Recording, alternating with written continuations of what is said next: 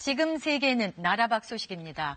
브라질에서는 전국에 흩어져 있던 인디오 부족민들이 수도 브라질리아로 모여서 대규모 시위를 벌였습니다. 브라질 대통령이 인디오들이 거주하는 보호구역을 조정하려 하자 땅을 뺏길 수 없다며 반발하고 있습니다. 상파울루 이재환 특파원입니다.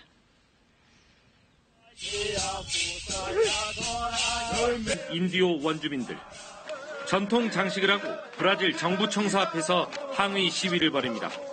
수천여 명의 인디오 원주민들이 자신들의 땅을 지키기 위해 24일부터 수도 브라질리아에 몰려들었습니다. A gente não tem medo. O nosso lema é assim: povo unido jamais será vencidos, né? E hoje nós estamos aqui para concretizar esse momento. 보소나루 대통령은 올 초 인디오 보호구역 관리를 현 인디오 보호관청에서 농업부로 이관해 경계를 조정하겠다는 뜻을 밝혔습니다. 광물 자원과 농업 개발을 위해서입니다. 보소나루 대통령은 인디오들의 반발에 보호구역 해제는 없을 것이라고 약속했지만 인디오들은 믿을 수 없다는 반응입니다. Olha, a principal luta dos povos indígenas no Brasil é a garantia do direito territorial. Essa é a bandeira maior, é a garantia da terra.